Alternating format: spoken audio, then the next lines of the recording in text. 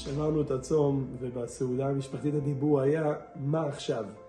כאילו, היה יום כיפור, הגענו לשיא, מה עושים עכשיו? והתשובה הקלאסית הייתה שעכשיו צריך להתחיל לתקן את עצמנו לעבוד. אז שאלתי את הילדים, מה זאת אומרת להתחיל? היום היינו בשיא.